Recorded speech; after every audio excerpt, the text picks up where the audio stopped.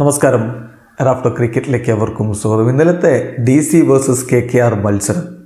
എല്ലാ അർത്ഥത്തിലും ഡൽഹി ക്യാപിറ്റൽസിന് ഒരു ദുരന്ത ദിവസമായിരുന്നു. അവരുടെ ക്യാപ്റ്റൻ ഋഷഭ് പന്തിന് ഒരു ദുരന്ത ദിനമായിരുന്നു. ടോസ് ലഭിച്ചിട്ട് ബാറ്റ് ചെയ്യാനെടുത്ത തീരുമാനം വലിയ മണ്ടത്തരമായി പോയി.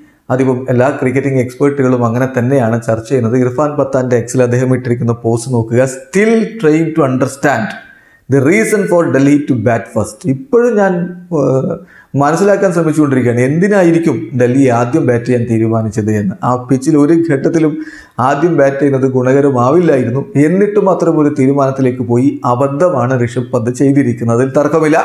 അതിന്റെ ഫലമായിട്ട് തന്നെയാണ് ഇങ്ങനെ വലിയ രൂപത്തിലുള്ള തോൽവി ഏറ്റുവാങ്ങിയത്. കളി കഴിഞ്ഞിട്ട് പക്ഷേ ഋഷ്- ഋഷഭ് പന്ത് പറഞ്ഞത് അത് അത്ര മോശം തീരുമാനമൊന്നും ആയിരുന്നില്ല. എല്ലാ ദിവസവും ക്രിക്കറ്റിൽ നിങ്ങളുടേതായിക്കൊള്ളണമെന്നില്ല. എന്നും നിങ്ങൾക്ക് തിളങ്ങാൻ പറ്റിക്കൊള്ളണമെന്നില്ല എന്നാണ് ഋഷഭ് പന്തിന്റെ വാക്കുകൾ നോക്കുക. ആ ടോസിനെ പറ്റിയിട്ടുള്ള ആ ഡിസിഷനെ പറ്റിയിട്ട് അദ്ദേഹം പോസ്റ്റ് മാച്ച് പ്രസന്റേഷനിൽ പറഞ്ഞത് ഐ തിങ്ക് ദാറ്റ് അതായത് batting first was a good option but as a batting unit we did not bat well enough എന്നാണ് അദ്ദേഹത്തിന്റെ ആദ്യ പ്രതികരണം വന്നത്. അതായത് ഞാൻ വിചാരിക്കുന്നത് ആ ബാറ്റിംഗ് ഫസ്റ്റ് എന്നുള്ളത് നല്ല ഓപ്ഷൻ തന്നെയായിരുന്നു പക്ഷേ ഒരു ബാറ്റിംഗ് യൂണിറ്റ് എന്ന നിലയിൽ ഞങ്ങൾ നല്ല രൂപത്തിൽ പെർഫോം ചെയ്തില്ല. നൂറ്റി അൻപത് ഡെഫിനറ്റ്ലി ഒരു ബിലോ പാർ സ്കോറായിരുന്നു പക്ഷേ ഇത് ക്രിക്കറ്റിന്റെ ഒരു ഭാഗമാണ് ഇങ്ങനെയൊക്കെ സംഭവിക്കുക എന്നുള്ളത്. ഞങ്ങളുടെ മുന്നിൽ ഇനിയൊരു ഒരു ഇനി ഒരു ലോങ് ബ്രേക്ക് വരികയാണ്. അതുകൊണ്ട് തന്നെ ഞങ്ങളുടെ മിസ്റ്റേക്സിൽ നിന്ന് പഠിക്കാനുള്ള അവസരവും സമയവുമുണ്ട് ചിലപ്പോൾ നിങ്ങളുടെ ദിവസമായിരിക്കില്ല. ക്രിക്കറ്റിൽ അങ്ങനെയുള്ളൂ എല്ലാ ദിവസവും നിങ്ങൾക്ക് ഒരുപോലെയാകണമെന്നില്ലല്ലോ. എന്തായാലും ഞങ്ങളിപ്പോൾ മുന്നോട്ട് പോയിക്കൊണ്ടിരിക്കുന്ന രീതിയിൽ ഞങ്ങൾ ഇറ്റ് വാസ് പ്രറ്റി നൈസ് എന്ന് തന്നെ ഞങ്ങൾ പറയും. വളരെ ഹാപ്പിയാണ്.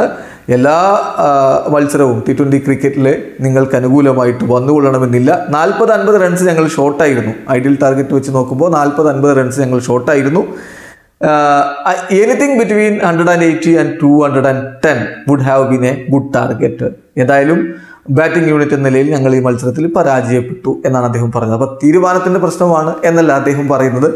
ടീം വേണ്ട വിധത്തിൽ പെർഫോം ചെയ്തില്ല എന്നാണ് പറയുന്നത്. അതിപ്പം അദ്ദേഹമാണെങ്കിലും ബാറ്റ് കൊണ്ട് മികച്ച പ്രകടനമല്ല നടത്തിയിട്ടുള്ളത്. നമുക്കറിയാമല്ലോ.